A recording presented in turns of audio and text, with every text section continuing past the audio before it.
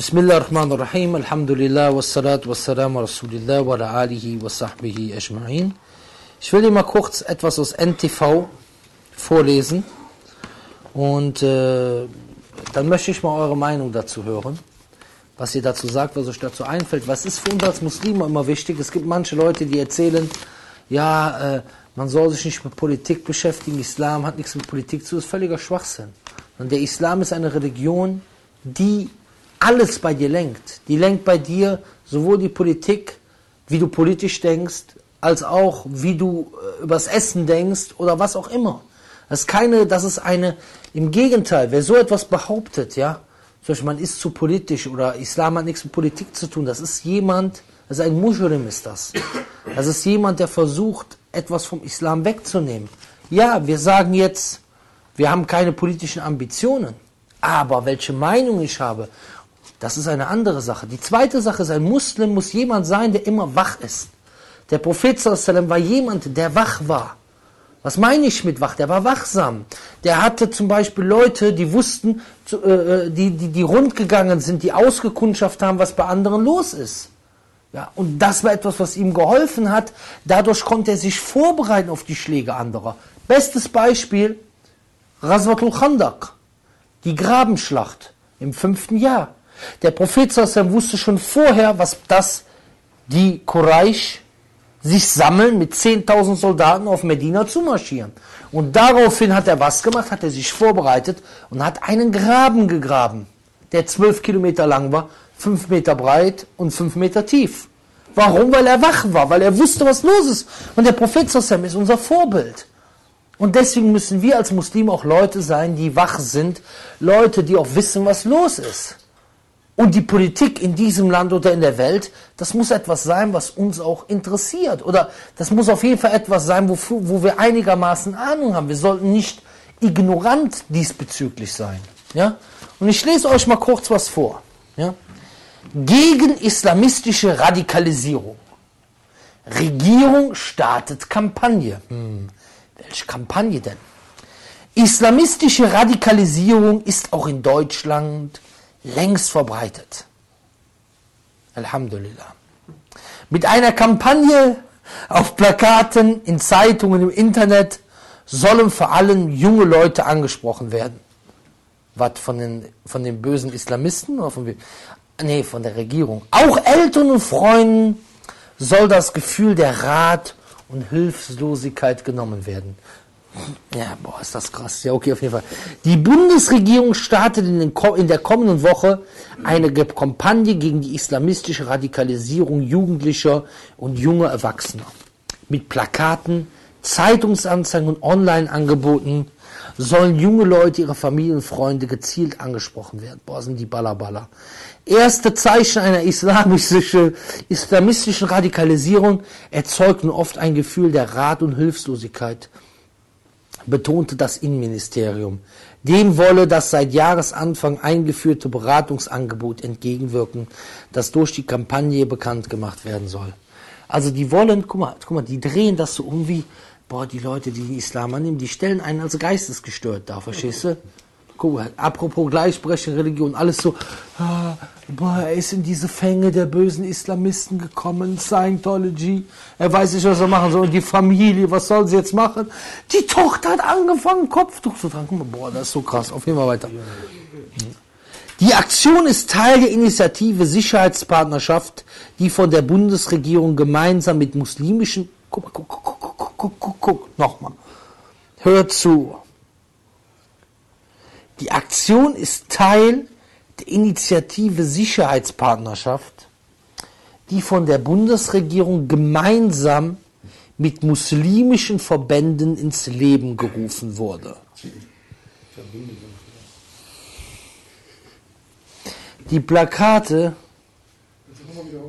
ich wiederhole es, ich wollte es gerade nochmal wiederholen. Die Aktion ist Teil der Initiative Sicherheitspartnerschaft, die von der Bundesregierung gemeinsam mit muslimischen Verbänden ins Leben gerufen wurden. Wir sind lieb, wir sind lieb. Die Radikalen sind die anderen. Ja, da gibt es einen Pierre Vogel, der sagt, äh, Kopfdruck.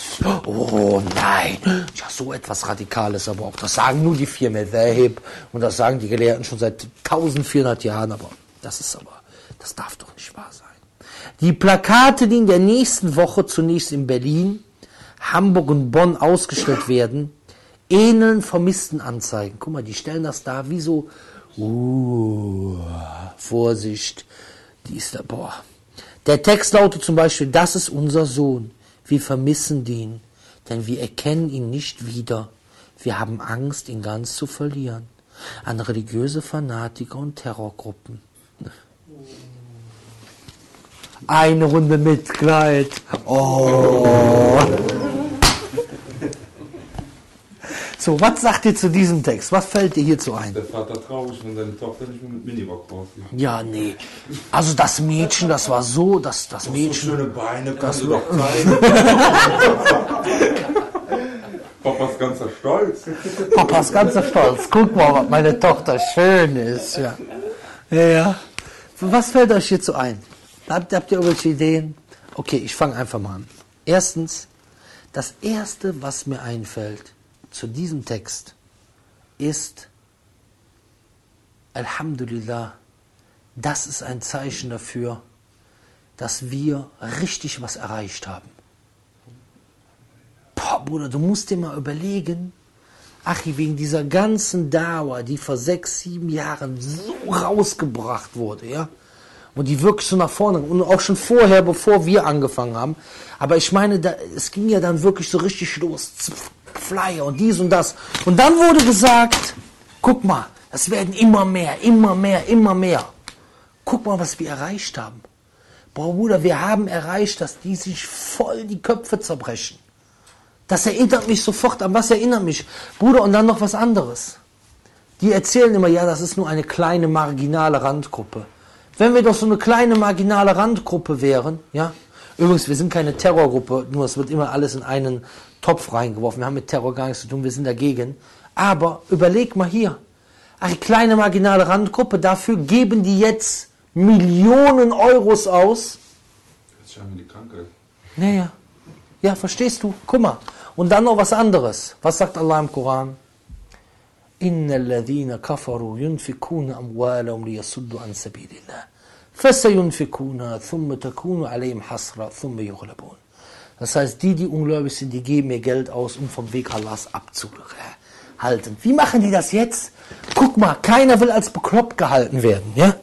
Die stellen jetzt die Leute, die den Islam annehmen, als Bekloppte dar. Die wollen den Leuten Angst machen, sich mit dem Islam zu beschäftigen. Das ist so eine Gruppe wie Scientology. Ja, und dann, was wollen die noch machen? Die wollen das trennen. Ja, es gibt auf der einen Seite die guten Muslime, die den Weihnachtsbaum zusammen zu Hause stehen haben und die Currywurst mit Fritten essen. Auf der anderen Seite gibt es die radikalen Islamisten, die sagen, Islam ist die Wahl, wir feiern kein Weihnachten, wir feiern kein Ostern, wir feiern noch nicht mal den Geburtstag des Propheten und wir essen auch kein Schweinefleisch. Auch wenn wir uns nicht mit dem Sprengstoffgürtel vor der Currywurstbude in die Luft jagen, weil der ja Schweinefleisch verkauft. Verstehst du? Ach, das ist, das ist, Bruder, guck mal, die wollen die als Kranke darstellen. Das ist mein Sohn, er ist vermisst. Wir kennen ihn nicht mehr wieder. Es ist ja so traurig. Verstehst du? Die wollen. Und mit wem haben die das damals gemacht? Wisst ihr mit wem? Mit den Sahabern. Sie haben über die gesagt, das sind die Sufaha von uns, das sind die Dummen von uns, die Schwachen von uns. Genau das sagen sie heute über die, die hier den Islam annehmen. Guck mal, ach, dieselbe Ergebnis. Dann Geld haben sie ausgegeben. Was sagt Allah? Sie werden ihr Geld ausgeben und dann wird es für sie eine Schmach sein und dann werden sie besiegt werden. Ach, und mit besiegt, nur für Kollegen, mit besiegt meinen wir nicht, dass wir irgendjemand wehtun oder was auch immer. Mit besiegt meinen wir, dass der Islam sich weiter verbreiten wird. Alhamdulillah. Wir haben keine Lust, irgendjemandem weh zu tun oder was auch immer. Ganz im Gegenteil. So, jetzt geht's weiter. So, und da siehst du, wie viel ihnen das wert ist, Bruder. Sieht man, wie viel wir erreicht haben. Alhamdulillah, mit der Erlaubnis Allahs. Bruder, und dann, wunder, dann kommen Leute und sagen, ja, guck mal, wir werden attackiert. Du wirst nur attackiert, wenn du was erreichst. Ein toten Hund tritt keiner, der interessiert keinen. Aber hier ist ein Zeichen, dass immer mehr Leute Islam angenommen wurden. Und dann sagen die natürlich nicht, wir sind gegen Islam, die sagen, wir sind gegen Radikalisierung. Ja, wie gegen Radikalisierung? Gegen was für eine Radikalisierung? Wir sind gegen Terroristen. Ja gut, dann ladet mich ein. Es gibt keinen, der dagegen reden kann wie wir. Wir sind nicht für Terrorismus. Oder? Nee. Aber, aber das Problem ist, uns lädt man nicht ein. Weil wir nämlich dann sagen, der größte Terrorist ist George Bush und dann gucken sie wieder blöd aus der Wäsche. Das ist das Problem. Ja, weil wir können nicht sagen, auf der einen Seite ja Muslime, Muslime, Muslime, Muslime. Nee, nee, nee, nee. Sondern wir zeigen mal auf alle Seiten. Wir zeigen mal auf diesen Bashar al-Assad, der vorher von, von, von, von, von, von vielen Regierungen unterstützt wurde. Wer ist denn im Endeffekt der, der diese Idioten überhaupt erst an die Macht gebracht hat? Wie diesen Bashar al-Assad. Verstehst du? Im Endeffekt. Das ist doch alles etwas von der Kolonisation. Wie kann jemand, der vier oder fünf Prozent eines Landes stellt, da in diesem Land das Land noch beherrschen? Ja, ist doch Fakt. Ja, und alle möglichen Punkte. Auf jeden Fall, daran sieht man, was wir erreicht haben. Deswegen diese ganzen Folklorevereine und Verbände, die sollen sich was schämen. Alhamdulillah, Allah hat uns diesen Erfolg gegeben, dass diese Leute sich so eine Sorge machen. Aber jetzt müssen wir auch, das müssen wir auch handeln. Wir müssen weitermachen. Weitermachen. Und wir müssen damit rechnen, Brüder, dass es weitergeht. Und wisst ihr, woran mich das auch erinnert? Guck mal zur Zeit des Propheten. Als die Muslime nach Habascha ausgewandert sind, sogar dann noch, obwohl sie ausgewandert sind aus Mekka, bis nach Abyssinien, bis nach Äthiopien, was heute Äthiopien ist, was passiert? Da sind die Kuffar hinterhergegangen der sieht den Islam immer als, als Gefahr.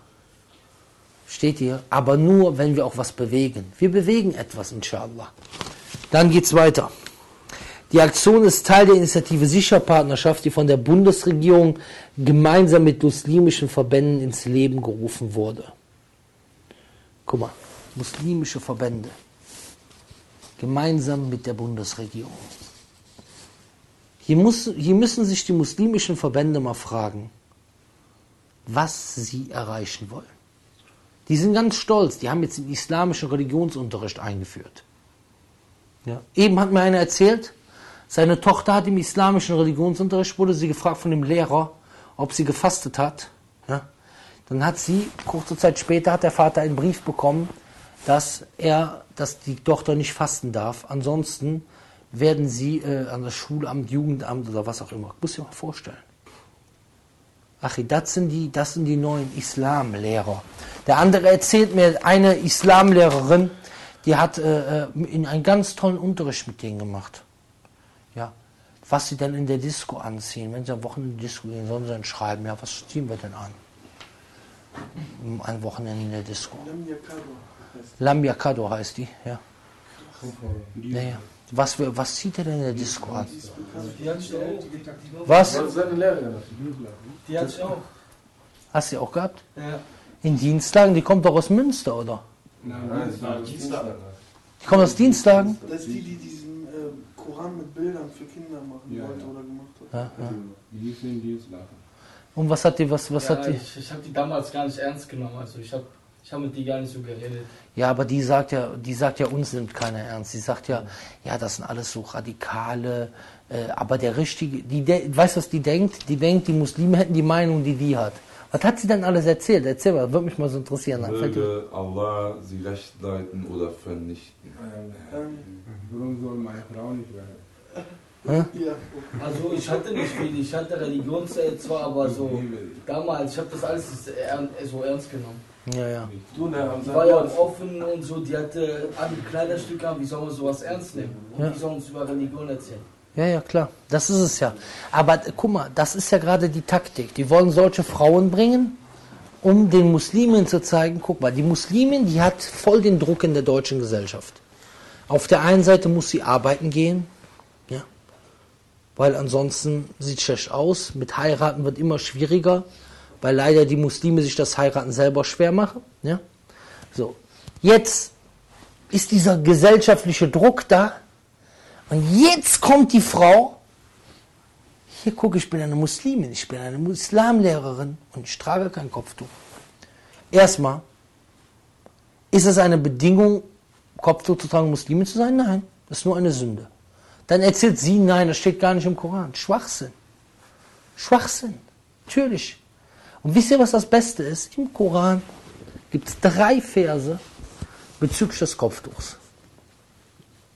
Und was die machen wollen, ist, die wollen dieses Wort für Kopftuch, ich sage das jetzt mal als Kopftuch, Jilbab, Chima und Hijab. Dieses Wort, was wollen sie damit machen? Sie wollen das einfach anders übersetzen. Sie sagen zum Beispiel, Jilbab kann auch eine Bluse sein, die den Busen verdeckt. Put, das ist, glaube ich, Suche 33, Vers 59 oder 54 bis das sein. Okay, das, also auf jeden Fall von Suche 33 bis 50 bis 60, da ist dieser Vers. Besetzen wir mal ein. Ja, ayyuhan Nabi, kulli aswajika wa banatika wa nisa'i mu'minin yu'nina alayhina min jalabibihina. Dhalika anna yurafna wa la yudayn. Hier sagt er, O Prophet, sag deinen Frauen und deinen Töchtern und den Frauen der Gläubigen, sie sollen sich eine Bluse anziehen damit sie als ehrbare Frauen erkannt werden und nicht belästigt werden. Heißt das, sie sind vor oben ohne rumgelaufen, Auzubillah. Schießt du, Bruder, ist eine Lüge. Dann kam eine BH raus. Ja, das ist eine Lüge, ist das. Ja, Auzubillah, ja, so, so, verstehst du. Dann ist der andere Vers sagt, andere Vers, Suche 33, Vers, nee, Suche 24, Vers 31. Da sagt Allah zu den Frauen, "Wal yadribna bi khumurihinna ala jiyubihinna." Also sie sollen sich ihren Chimar über die Kleiderausschnitte schlagen. Weil der Chimar von oben zugemacht wird nach unten. So, hier ist Chimar. Dann sagen sie, ja, aber es heißt was anderes, das ist nicht damit gemeint. Heißt, sie sollen Busen bedecken. Wieder. Nächste Aussage. Hijab. Das ist auch in Sure 33, ich glaube Vers 54.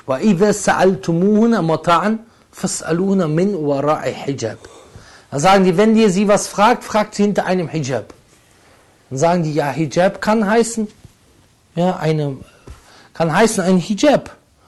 Aber kann auch heißen ein Vorhang und kann auch heißen eine gedachte Distanz, durch die Schutz entsteht. So, jetzt pass auf. Erstmal, wenn wir sagen hinter einem Vorhang, dann sagen wir, welche Funktion hat dieser Vorhang? Ja, da sagt Allah danach, das ist reiner für eure und für ihre Herzen, damit du nicht äh, Begierde spürst für, für die Frau. Das heißt, dass die etwas von ihrer Scham nicht zeigt oder etwas von ihrer Schönheit nicht zeigt. So, dann gedachte Distanz durch die Schutz entsteht. Wenn ihr sie nach einem Gegenstand fragt, so fragt sie hinter einer gedachten Distanz durch die Schutz entsteht. Wie soll das funktionieren? Elfriede! Kannst du bitte die Gabel bringen? Ach, das ist völliger Schwachsinn, ist das. Werfe, nicht bringen. Werf mal! Werf mal die Gabel! Ja, Bruder, verstehst du? Aber wisst ihr, was das Beste ist? Stell dir mal vor, in allen drei Versen hätte Allah Hijab gesagt, oder in allen drei Versen hätte Allah Khimar gesagt, oder in allen drei Versen hätte Allah Jilbab gesagt. Aber Allah hat dreimal, drei verschiedene Wörter benutzt, die in jedem Fall das, das bedeuten können, was wir meinen, was wir meinen, und die müssen es immer mit einem anderen Wort verdrehen. Versteht ihr das? Hätte der nur einmal dieses Wort genannt, verstehst du, hätten die sagen können, ja, das heißt ja dies und jenes. Aber der hat extra drei verschiedene Wörter, weil der wusste schon, dass solche Leute auftreten werden. Dann kommen sie mal, das steht ja nicht im Koran. Im Koran steht ja gar nicht Kopftuch. Stimmt, steht im Koran Kopftuch? Nee. Koran ist auf Arabisch, da steht nicht Kopftuch, da steht Hijab, da steht Jilbab, da steht Khimar. Aber wer so etwas sagt, hat sowieso keine Ahnung von Islam. Steht nicht im Koran. Erstens steht es im Koran, zweitens, also ich meine Jilbab, Hijab, zweitens, es kommt nicht auf Koran nur an. Es kommt auf Koran und Sunna an. Wenn du sagst, eine Sache gibt es nicht im Islam, musst du sagen, davon steht nichts im Koran, davon steht nichts in der Sunna. Dann tun die immer so wie, ja, wisst ihr, die Männer, die wollen die Frauen benutzen, die haben das für ihre eigenen Zwecke benutzt. Was für ein Schwachsinn. Wenn die Männer das, Männer das für ihre eigenen Zwecke benutzen, dann sagen die, die Frau muss im Bikini rumlaufen. Verstehst du, sagen die, wir wollen, und wir wollen, wir wollen schöne Frauen sehen. Nee. Versteht ihr, ist völliger Blö Verstehst du, Bruder, gibt es eine Fatima Mernisi, so eine Shaitana aus Marokko, ach, die erzählt das, ja, die Männer, und das wird immer verbreitet von diesen dämlichen Feministinnen. Ja, die Männer zu ihren eigenen Zwecken haben sie die Frau unter den Hijab gezwungen. Ach, ich sagte, ich war früher, ach komm, ich will jetzt nicht, ich besser das, Das war aber ein Thema bei Achi. Das aber die meisten Leute, Bruder, die meisten Leute, die sind doch stolz, wenn sie sehen ihre Frau und die anderen gucken, ey, siehst du, da ist meine. Ja, ist doch so. Völliger Quatsch. Ach, da freut er sich, wenn die Frau äh, da takelt mit den High Heels, Hot Pants, ja, Ausschnitt bis zum Knie, ne, und Saum bis zum Kinn. Ja, ist doch so. Da würde der eher, da würde der eher sagen, ja, die muss sich einen Tanga auf der Straße anziehen. Ja, tut mir leid, dass ich das sage, aber wir müssen logisch über die Sachen und offen über die Sachen reden. Ist völliger Blödsinn ist das. Ja.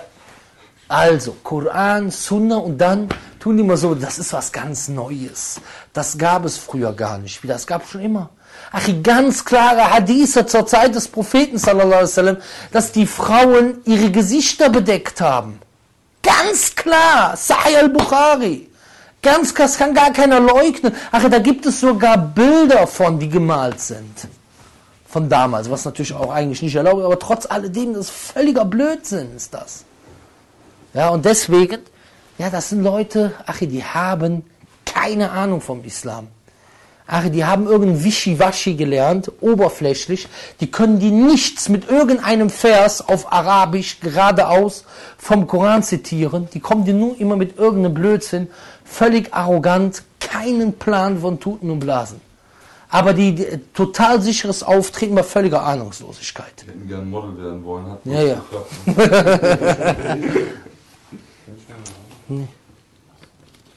Ach, guck mal hier, was er jetzt hier gerade hat. Koran, Islamunterricht soll Kinder vor Salafisten schützen. Guck mal, das ist das Ziel. Weil die den wahren Islam nicht schon. Hier. Beginnend mit dem jetzigen Schuljahr erhalten muslimische Kinder in NRW Grundschulen islamischen Religionsunterricht. Der Islamexperte Muhannad Khorshide von der Uni Münster, das ist ein Islamexperte, sieht islamischen Religionsunterricht an NRW Grundschule als wichtigen Integrationsbeitrag. Das Angebot soll auch vor Salafisten schützen.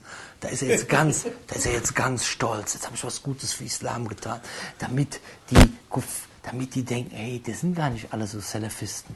Die Salafisten sind ja auch so schlimm. Ne? Was, was habe ich eigentlich gemacht? Habe ich irgendwas verbrochen? Ich habe noch nicht mal einen Reporter zusammengeschlagen bisher. Und das soll was heißen, weil das ist ja echt ein verführerischer Gedanke, wenn die mal ankommen ne? Äh, und, und dann irgendwelche Lügen über dich erzählen. Ich meine, man muss ganz offen sprechen, da wird man doch mal gerne so richtig einen auf die Zwölf hauen, oder? Aber haben wir nie gemacht. Warum? Wir sind anständige Bürger. Was ist denn hier los?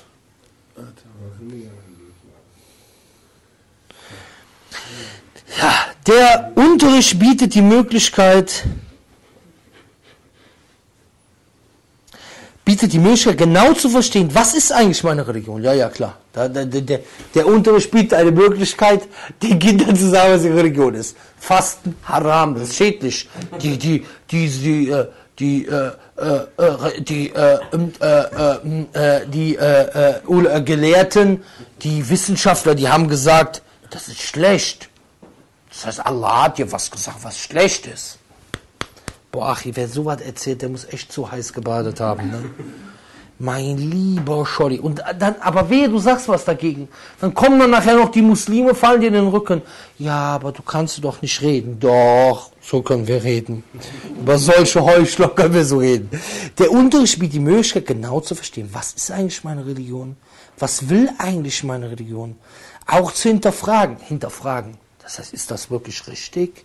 Gibt es wirklich einen Gott? Hinterfragen. Ist etwa Teil meiner Religion oder sind es nur Traditionen? Ja.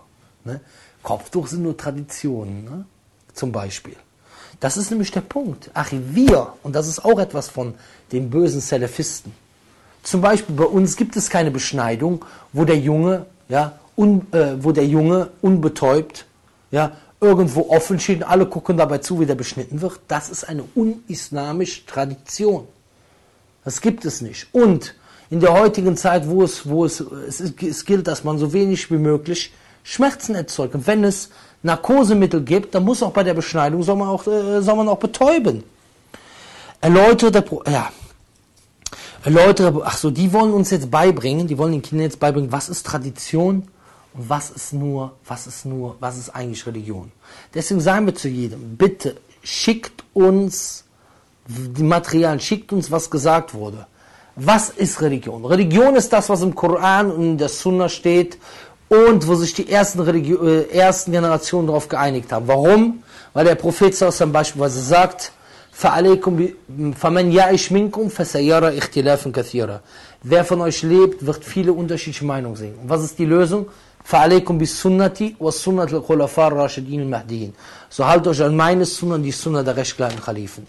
An der Hajjatul Wada hat der Prophet sallam gesagt, ja, ja, Inni taraktu fikum ma in tamassaktum bi lan tadillu abada. Ich habe euch etwas hinterlassen, wenn ihr daran festhaltet, werdet ihr niemals in Irre gehen. Jetzt hier. Guck mal hier. Oh, oh, oh, oh, mashallah. Junge Menschen sollen in der Lage sein, zwischen menschenfreundlichen und menschenfeindlichen Angeboten unterscheiden zu können, sagte Koshidi in Anspielung auf Kampagnen von Salafisten. Das heißt, unsere, unsere äh, Angebote sind menschenfeindlich. Was sind menschenfeindlich in unseren Angeboten? Hä? Kann man es mal dabei bringen? Ja, da wird er sagen, ja, dass die Hand abgehakt wird. Ja, Junge, steht im Koran. Was willst du denn dazu sagen? Im Koran steht es drin, dass wenn einer klaut und wie gesagt, da gibt es bestimmte Bedingungen für Hand ab hat. Bang. Ende aus. Wir haben aber noch keinem die Hand abgehakt. Alhamdulillah.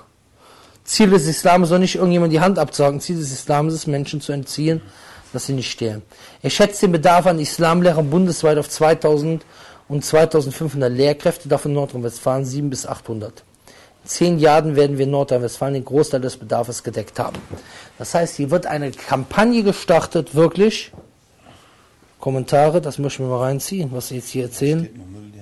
Ja, das ist mir sowieso klar. Aber ich möchte mich über den Müll ein bisschen amüsieren hier. Der. Das erste Kommentar ist richtig heftig, finde ich. Soll ich mal? Das dauert ein bisschen, bis Ah. er lädt, Bruder. Geh mal runter. Da. Das erste Kommentar.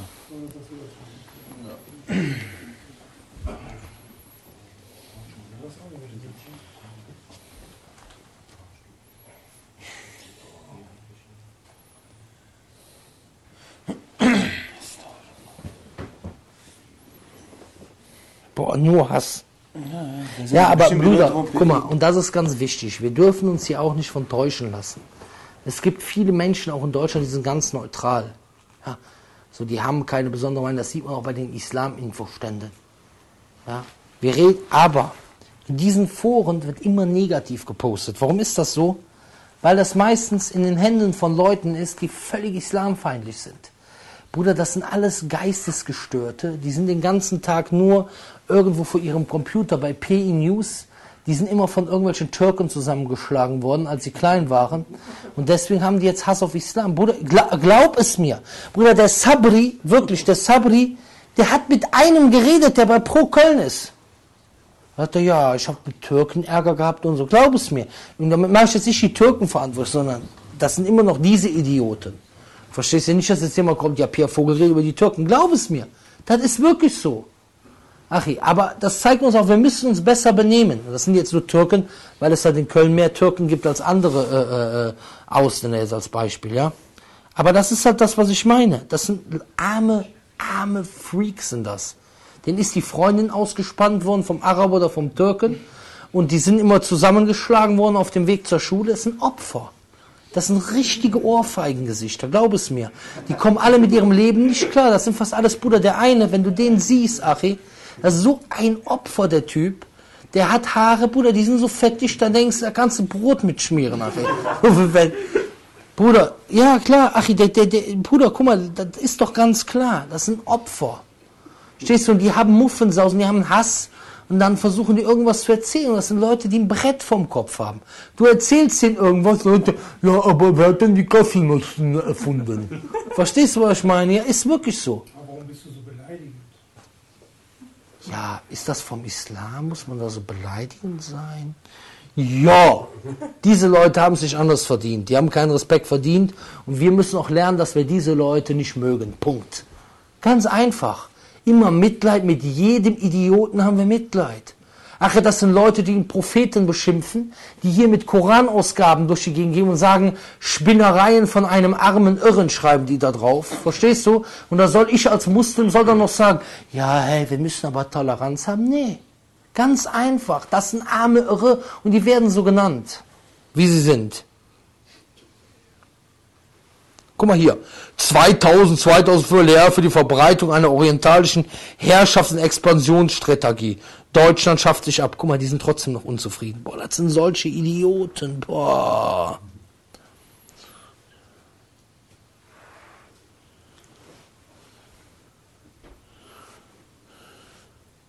Der ganze ist, boah, Bruder, komm, ich kann mir das nicht reinziehen, also die sind mir einfach zu dämlich. So, aber was wir lernen müssen, Bruder, ist ganz klar. Ja, hier wird eine Kampagne gestartet, in den Schulen, auf den Straßen, überall, gegen den wahren Islam. Und die Methode ist, den wahren Islam zu bekämpfen mit der Verbreitung eines Islams, der kein Islam ist. Ganz einfach. So, was können wir jetzt tun? Erstens, ich gebe jedem den Tipp, studieren zu gehen. Ja, wer kann, wer im richtigen Alter ist, er soll Islam richtig lernen gehen. Das heißt, für Leute, die aus Marokko beispielsweise kommen, ist es zum Beispiel sehr gut. Es gibt zum Beispiel sehr viele Institute dort, die wir auch kennen, wo man den Koran lernen kann in zwei, drei Jahren. Und auch andere Unterrichte angeboten werden. Wir können da Kontakte herstellen, inshallah, für Leute, die marokkanischen Pass haben und Arabisch lesen und schreiben können. Ja? Und dann für andere Leute ist Ägypten momentan vielleicht Adresse Nummer eins. Weil es Saudi-Arabien sehr schwierig ist, nach Saudi-Arabien reinzukommen. Ja, aber Ägypten ist offen und Ägypten ist ein Land voller Gelehrter, die richtig nach der Sunna gehen. Und momentan sind da so viele Leute aus der ganzen Welt am Hinkommen. Wenn du zum Beispiel in Kairo bist, du siehst von Indonesien, von der ganzen Welt. Ägypten ist momentan gleich die, die Adresse Nummer eins. Gerade weil es da auch Sprachschulen gibt, um Arabisch zu lernen in zwei, drei Jahren, Koran zu lernen. Ja. Und wir kennen da auch also, wir haben Kontakt zu guten Sprachschulen dort, wo man halt richtig lernen kann, wo man dann auch danach gucken kann, was man macht, dass man eventuell an der Azhar lernt oder eventuell in andere. Es gibt sehr viele private Institute dort, die sehr fit sind. Und jetzt nach der Revolution haben wir da in Ägypten, Achi. Und in Ägypten das Schulsystem ist auch sehr gut. Auch von, von, also wenn man Privatschulen gehen kann, die sind für die manche Ägypter ein bisschen teuer, aber für Leute aus Europa sind die eigentlich ziemlich günstig, diese Schulen. Äh, ich rede nicht von der ganz normalen staatlichen Schule, sondern wirklich von Privatschulen. Die sind sehr gut. Ja, das heißt, ähm, weil ich, ich bin der Meinung, man sollte ein Kind äh, etwas vom Islam erzählen, aber man sollte ihn nicht so da reinzwingen, nach dem Motto, ja, die, dass er nichts anderes lernt. Ich kenne zum Beispiel Schulen in Marokko, da gehen die Kinder rein, bevor die erstmal anfangen, richtig zu äh, andere Fächer zu lernen, müssen die erstmal Koran auswendig lernen. Ja? Aber ich finde, es ist auch wichtig, dass das Kind gerade im jungen Alter Horizont, dass dem Kind Horizonte geöffnet werden. Dass es die Religion lernt, zur selben Zeit Mathematik, zur selben Zeit, äh, zur selben Zeit halt äh, äh, auch verschiedene Sachen. Zum Beispiel die Schule von meinem Sohn. Mein Sohn, die waren zum Beispiel im Waisenhaus gewesen, die haben Sachen gebastelt und sowas. Ich finde das sehr wichtig für, für kleine Kinder. Heute hat er zum Beispiel ein Boot gebaut, ja, fand ich total cool. Meine Oma, die hat einen Teich und mein Sohn, der war bei meiner Oma, Oma Else gewesen, ja, und dann hat er dort mit so, Mashallah, mit so Plastikflaschen, ja, die hat er leer gemacht und da hat er Klebeband genommen, hat die zusammengeklebt, dann hat er dort äh, so, so, so, ein Brett drauf gemacht und dann hat er die auf dem Wasser als Boot, also fahren. Also ich fand das total super. Und das sind alles so Sachen, ich finde das sehr wichtig für Kinder, dass denen viele Horizonte geöffnet werden, auch dass sie andere Sprachen lernen im jungen Alter. Ja, ich finde es besser, das heißt, man, man, gibt von allem was, Religion und andere Fächer, ein bisschen Sport und so weiter und so fort. Und es gibt wirklich in, in gerade auch die Azhar-Schulen in Ägypten, das sind Schulen, wo, wo, wo die Kinder wirklich beides auch beigebracht bekommen wird. Das heißt, die lernen sowohl weltliche Fächer als auch religiöse Fächer. Und das ist wirklich eine sehr gute, eine sehr gute Angelegenheit. Ja? Und auch vom Arabischen her ist es äh, sehr, sehr gut. Andere Sache ist, was ganz wichtig ist, ganz, ganz wichtig, trefft euch in euren Gemeinden Und trefft euch in Wohnungen, trefft euch auf Sportplätzen, trefft euch auf Grillplätzen und macht dort Unterricht oder hört euch gemeinsam Unterrichte an und macht euch Notizen dazu. Das ist ganz wichtig. Das ist ganz, ganz wichtig. Dann die nächste Sache ist, ähm, die Koranstände. es könnte gut sein, dass die demnächst verboten werden. Aus irgendeinem Grund, die werden schon irgendwas finden wollen. Das ist denen auf jeden Fall ein richtiges Dorn im Auge. Wenn nicht, ist auch ist noch besser, wenn sie es nicht verbieten. Aber es ist auch so, dass viele Leute nicht in der Lage sind, die Korane zu bezahlen. Weil ich kann ja keinen Koranschein mit 100 Koranen machen. Ich muss ja schon ein bisschen mehr haben dort. Ja? Und die Korane sind zwar sehr günstig, sehr preiswert, aber äh, es ist trotzdem nicht für jeden einfach, äh, 100, äh, zum Beispiel 100 Korane zu kaufen oder 1000. Kannst du mal die Links holen, diese, diese Platten? Ich will kurz was dazu sagen. Die, die, die, ich will gerade über das Street Dava Projekt reden. Ich mache das hier in diesem Video auch und dann mache ich nachher nochmal ein eigenständiges Video. Was haben? Ja, diese Rohlinge und diese DVDs. So. Und deswegen haben wir jetzt noch ein neues Projekt. Das heißt, wenn beispielsweise sollte Koranprojekt verboten werden oder für Leute, die das sich nicht leisten können, haben wir jetzt noch andere, ein anderes Projekt, was wir anbieten wollen, was wesentlich kostengünstiger ist. Das ist das Street Dava Projekt. Ja? Wir haben hier zum Beispiel verschiedene Vorträge. Islam kurz erklärt anhand der Surah Fatiha. Dann hier Holocaust gegen Muslime. Deutschland 1939, Deutschland 2020, Fragezeichen. Dann hier Sulh Hudaybiyah, der Friedensvertrag von Hudaybiyah. Ja? Dann hier, wer ist dein Idol? Michael Jackson ist gestorben. Ja? Dann die Integrationslüge. Dann hier, was hat Allah für dich getan? Dann Surah Al-Ikhlas. Ja? Und ganz viele sind des Lebens, das heißt, das sind, Fast 50 verschiedene Fotos. das sind 50 verschiedene Vorträge. So. Und wie macht man das? Ihr schickt uns einfach Rohlinge. Hier sind jetzt 16 Stück drin. Ne? Wie viel kostet das?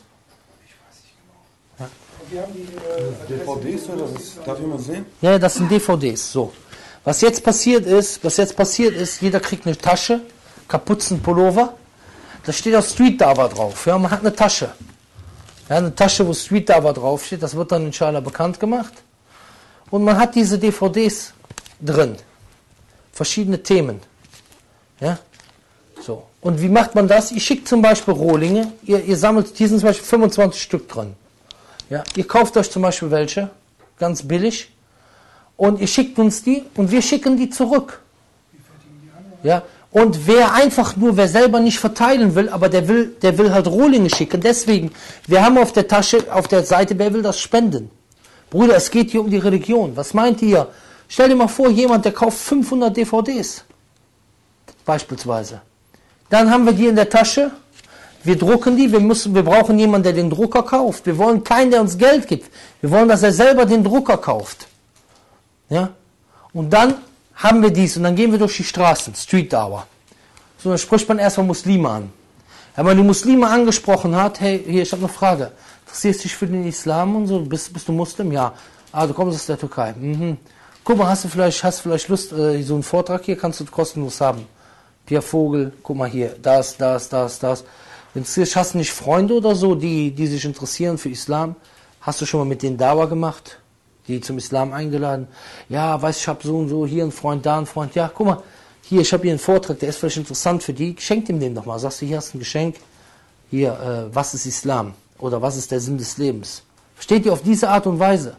Versteht ihr? Stellt euch mal vor, jedes Wochenende gehen tausend Muslime durch die Straßen in Deutschland. Spreche erstmal die Muslime an, weil der Muslim, der hat die Freunde. Verstehst du? Und du gibst ihm die DVDs für seine Freunde, weil das ist einfacher für dich, als den Nicht-Muslim anzusprechen. Aber am Ende kommen auch Leute zu dir, die sprechen dich an.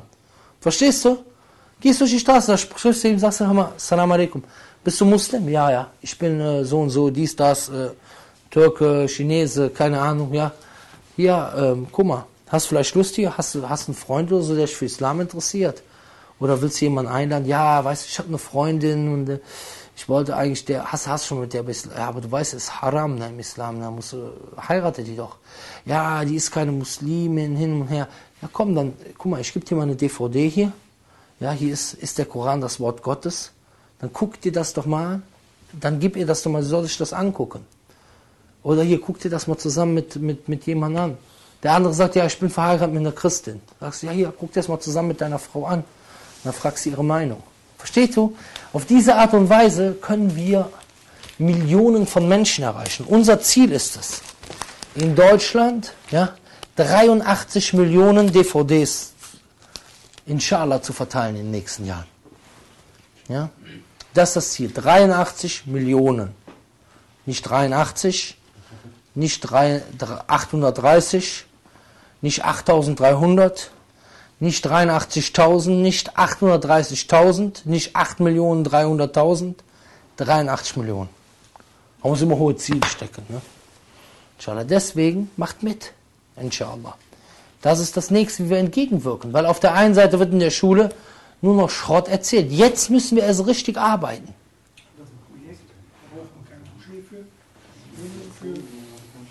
Ja. Und dieses Projekt, dieses Projekt, Leute, da braucht man keine Moschee für, da braucht man keine Genehmigung für, da braucht man gar nichts für. Da brauchst du nur Füße für. Schuhe, da brauchst du auch noch nicht mal unbedingt, du kannst auch barfuß gehen. Ja, da brauchst du nur Lust für. Ja, du nimmst dir diese DVDs, was meinst du hier, der, der, da bist der Richtige dafür. Ja, die kosten 7 Euro. 7 Euro. 7, 25 DVDs. Ja, 7 Euro hast du 25 DVDs. 7 Euro, 8 Euro so. Verstehst du? Stell dir mal vor, dann gehst du damit durch die Straße, guckst mal, was abläuft. So, und vielleicht gibt es die noch irgendwo billiger. Dann gibt es vielleicht einen, der richtig viele spendet. Von diesen, wir wollen kein Geld haben. Und dann geht's rund. Dann geht das hier nur noch durch die Straßen. Hey, Anti-Salafisten-Kampagne. Wir sind, wir sind wieder, genau, anstatt an, so, das heißt, das ist eine Alternative für die Leute, die immer mit Steinen werfen wollen. Die können dann DVDs werfen. Hier, nimm, Bruder. Schuh. Da sind es nicht. Was willst du gerne? Ja, ich hätte gerne, äh, äh, äh, ist der Koran das Wort Gottes? Moment. Ah, warte. Alles klar. Verstehst du? Dann sagen die, boah, die sind auch cool drauf. Dann stehen wir so in der Straße, so Frisbee. Inshallah. Also, äh, äh, genau, der Bruder sagt gerade, wie ist das, äh, wie ist das, wenn man das irgendwo reinwirft? Ja? Spricht eigentlich nichts gegen. Spricht eigentlich nichts gegen. Gerade für den Muslim, der vielleicht irgendjemanden einladen will, den er kennt, schmeißt das rein, aber in erster Linie wollen wir lieber, dass das so verteilt wird, aber es spricht auch nichts dagegen, das in die Briefkästen reinzuwerfen.